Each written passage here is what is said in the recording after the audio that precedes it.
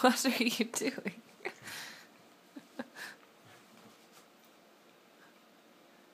he has toys.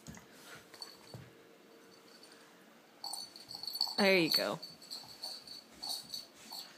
Get away from that TV doing that.